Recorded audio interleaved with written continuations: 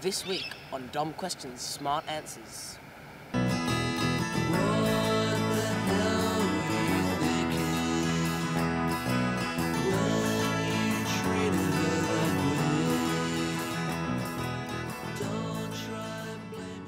Dumb questions, smart answers. Rolo Doggo asks, how many savage dogs have ham with Jamie Vardy in Nowra? That guy asks, why is a building called a building if it is already built? Bob asks, is this a dumb question?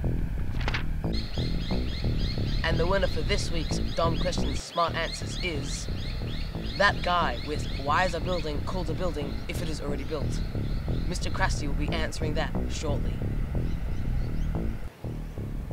Thanks, Gus. Now, quite an interesting question, hey? Two theories that I know of. One, a building is called a building because you never stop building it. Once it's built, you have to maintain it, which means more building. The other theory, quite strange. I've heard that the word building came about because of one man, an Anglo-Chinese man called Bill Ding. Thank you, Mr. Krusty, for that insightful answer. If you want your question answered on Leichhardt TV, submit it here, or find it on the Leichhardt Media website here.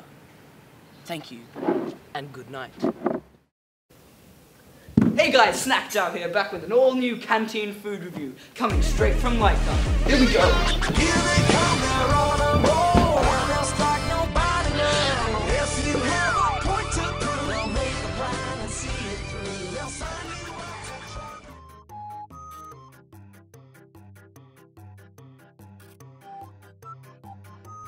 For our first meal, we are going to be trying the canteen's favorite lasagna. First impressions, looks good, smells good, sounds good. Feeling uh, could be better, but uh, let's see if it can really stimulate the sense of taste. So, uh, now, uh, let me just say, I uh, had a few higher hopes for this one. It's not great. Could be a little better, to be honest. The cheese sort of overpowers the other flavors, so to speak. I will give the value a, uh 4 out of 10. Presentation a 5 out of 10. The taste maybe a 3 out of 10, and the overall, overall I would give it a uh, 4 out of 10. So uh, that's my review on the canteen's uh, lasagna. Let's let's see if we can move on to any more exciting news.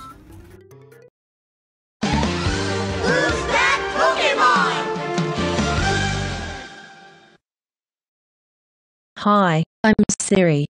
Did you know I have an amazing singing voice? Do you want to hear it? Well, I don't care either way. Here is Don't Stop Me Now by Queen. A rocket ship on my way to Mars. On a collision course, I am a satellite. I'm out of control, I am a sex machine ready to reload like an atom bomb about to oh oh oh oh explode. I'm burning through the skies, yay, 200 degrees, that's why they call me Miss Us Fahrenheit. I'm traveling at the speed of light. I want to make a supersonic woman of you. Don't want to stop at all.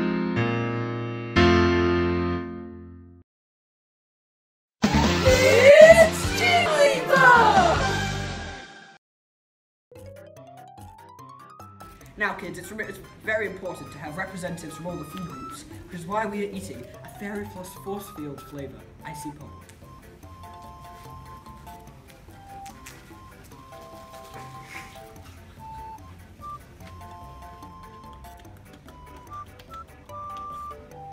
A little cold for my liking, but I can see the appeal. I would give this a uh, 10 out of 10 for value. The taste, uh, a solid 4. The pink does not really complement the yellow and clear on the outside, but I, uh, I could see the appeal. Overall opinion, solid 6 out of 10. Solid 6 out of 10, I'd say. Not all heroes wear capes. Meet VG, Violetta, and Fred.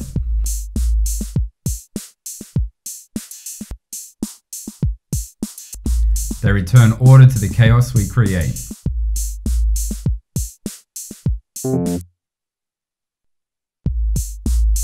But it don't gotta be this way.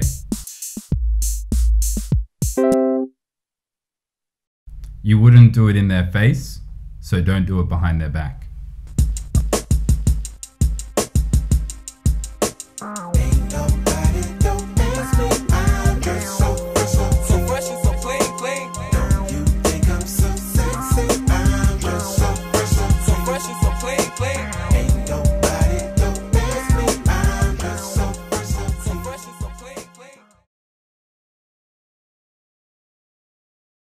Topic.